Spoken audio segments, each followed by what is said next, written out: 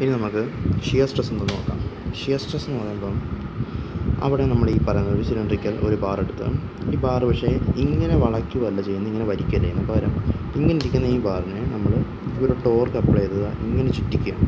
കണ്ടോ? ഇങ്ങനെ ഇങ്ങനെ റൊട്ടേറ്റ് ചെയ്യണം. അപ്പം ഇവിടെ ഫിക്സ്ഡ് ആയതുകൊണ്ട് ഈ സാധനം ഇങ്ങനെ ഒരു ഒരു ഇങ്ങനെ ഒരു ഞെങ്ങൽ പോലെ ഉണ്ടാവും. അല്ലാതെ ഇത് കറങ്ങത്തില്ല.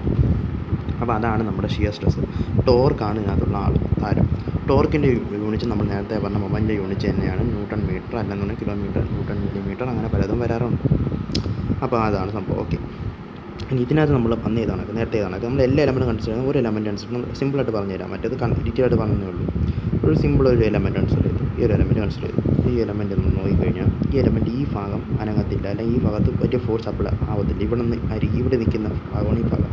പക്ഷെ ഇവിടെ നമ്മൾ കൊടുക്കുന്ന ഈ ടോർക്ക് ഇവിടെ ആക്ട് ചെയ്ത് ഏകദേശം ഈ ഒരു ഷേപ്പിലേക്ക് ആ എലമെന്റ് മാറും. ഈ ഷേപ്പ് വളഞ്ഞ ശേഷം ഏകദേശം ഈ ഒരു ഷേപ്പിലേക്ക് നമുക്കൊന്ന് വിഷ്വലൈസ് ചെയ്ത് അറിയാൻ പറ്റും. ഇങ്ങനെ മാറും. അപ്പോൾ ഇങ്ങനെ മാറാനുള്ള റീസൺ എന്ന് പറഞ്ഞാൽ ഈ പ്ലെയിനിന് പാരലായിട്ട് ഈ ഭാഗത്ത് പർപ്പന്റ് ഇങ്ങനെ ഒരു ഫോഴ്സ് അപ്ലൈ ഒരു ടോർക്ക് അപ്ലൈ ചെയ്യുന്നുണ്ട്. ഈ സാധനം ഇവിടെ എത്തുമ്പോൾ ടോർക്കായി എലമെന്റ് എത്തുമ്പം ഏ, ഈ സാധനം ടോർക്ക് എന്ന് പറഞ്ഞ സാധനം ഇലമെന്റ് എത്തിയപ്പോഴത്തേക്ക് എന്തായി? ഷിയർ സ്ട്രെസ് ആയി. ഷിയർ സ്ട്രെസ് ആണ് നമ്മുടെ ടോ അപ്പോൾ ടോ ആണ് ഇവിടെ ഉണ്ടാകുന്നത് അപ്പോൾ നമുക്ക് ടോ കണ്ടുപിടിക്കാനുള്ള ഇക്വേഷൻ ഉണ്ട്.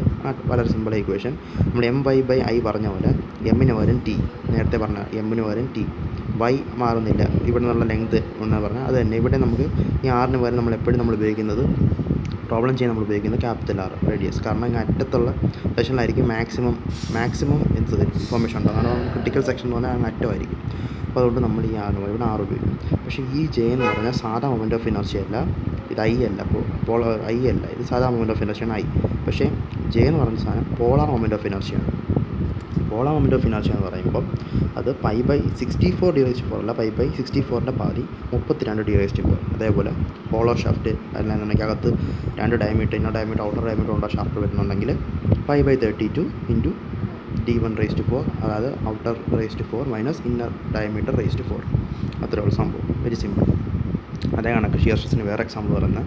ഇവിടെ നമ്മൾ ഇങ്ങനെ ഒരു ഫോഴ്സ് ഇങ്ങനെ ഈ ഒരു ഇതിനകത്ത് നമ്മൾ നേരത്തെ ഇങ്ങനെ ഒരു ഫോഴ്സ് ഈ ഈ ലൈനിൽ ഫോഴ്സ് കൊടുത്തു. പക്ഷേ നമ്മൾ ഈ മുകളിൽ നിന്നൊരു ഫോഴ്സ് അപ്ലൈ ചെയ്താണെന്ന് വെച്ചു.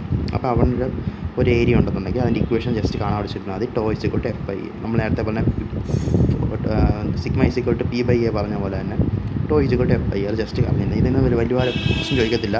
ഇമ്പോർട്ടന്റ് അല്ല. ഇതാണ് ഇമ്പോർട്ടന്റ് ആയിട്ടുള്ള സാധനം. ഇതെല്ലാം കൂടി സമ്മറൈസ് ചെയ്ത് ഒരു ഇതിലൂടെ അടുത്ത വീഡിയോയിൽ പറയാം. അത് കഴിഞ്ഞ് പ്രോബ്ലം ചെയ്യാം.